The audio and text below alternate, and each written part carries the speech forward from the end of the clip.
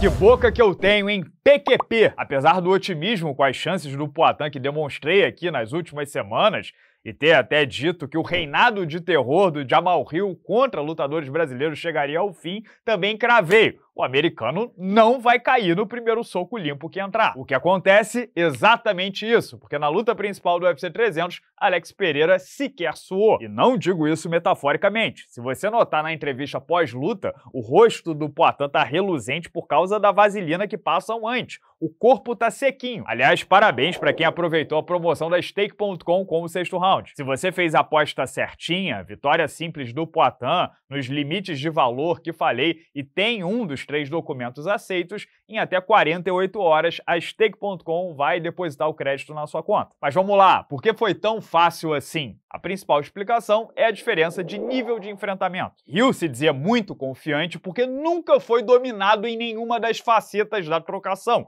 nem nos treinos, nem no octógono. Acontece que a amostragem do cara é muito limitada. O microcosmo de meia dúzia de sparrings e uma maioria de adversários que tem a luta agarrada como base, não pode nunca ser comparado com pelo menos sete anos de testes contra os melhores kickboxers do mundo no Glory. É a mesma coisa que eu dizer que eu sou o melhor da minha academia de jiu-jitsu aqui em Campinas, sobro nos treinos e, portanto, vou ser campeão mundial. Thiago Marreta, Johnny Walker, Jimmy Cruz e companhia são bons strikers pro MMA. Mas uma coisa é uma coisa, outra coisa é outra coisa. É a mesma coisa que dizer que o Charles do Bronx, maior finalizador da história do UFC, poderia bater numa luta de submission o Mika Galvão ou o Cage Rutuolo, últimos finalistas até 77 quilos do ADCC. O Charles vai ser o primeiro a dizer que as chances dele são poucas ou nulas. Aliás, ele disse isso anteontem em entrevista ao Diego Ribas do AG Fight. Rio não, para ele nada disso importava. Ele ia dominar, fazer e acontecer e brutalizar Poitin fácil. Isso vindo de uma das piores lesões que qualquer atleta pode ter, no tendão de Aquiles. E não era só retórica, trash talk não, tá? O que disse na coletiva de imprensa, as provocações pouco importam. O que importa são as ações. Rio abreviou a recuperação e meteu um campo a toque de caixa porque acreditou que era possível. Ah, Renato, mas ele disse pro Durinho que se recuperou da lesão em cinco meses, recorde mundial, numa novíssima cirurgia milagrosa. Beleza, então se ele estava se preparando desde o final do ano passado, passado,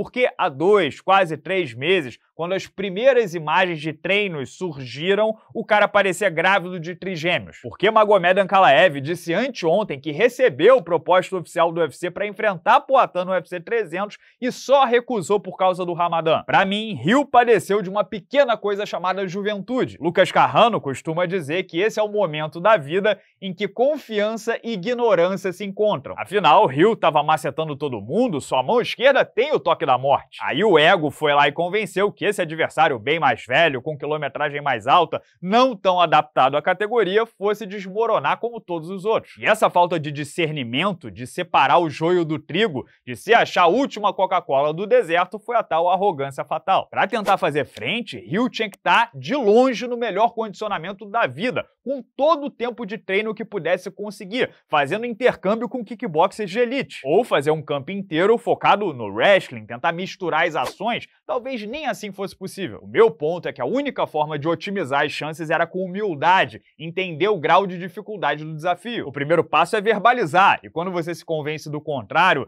que vai cair rápido, vai ser fácil, não ajuda. Se convencer não basta para vencer o Poitin. Olha o caso do Dricos Duplessis, um cara bem mais pé no chão. Ele recebeu a mesma oferta para lutar no UFC 300. A grana certamente foi sedutora, mas no final disse: "Não, obrigado, não vou arriscar meu cinturão assim sem estar no meu melhor shape. O Adesanya é embaçado. Ah, Renato, mas o Rio fez a maior bolsa da vida. Beleza, fez uma só. E a próxima rodada? E a tal da preferência temporal, de abrir mão da recompensa de curto prazo para colher algo maior no futuro. Sabe qual era o certo pro Rio? Recusar. Passar a bola. Vai, Magomed Ankalaev, pode ir, eu preciso de seis meses para me preparar. Quando a luta começou, a gente já percebeu que o americano estava com sérios problemas. Primeiro porque mudou de postura, aquele caçador de cabeças frenético que partiu para cima do Glover e dos outros brasileiros babando estava andando para trás. Então o Rio passou a respeitar o Poitin na hora errada, tarde demais. De novo, aceitou a luta antes da hora, se fez de amigo no início da semana para tirar onda na coletiva e na pesagem, nada disso é respeito. Mas aí dentro do octógono encolheu, deixou Poitin trabalhar, tomar a iniciativa,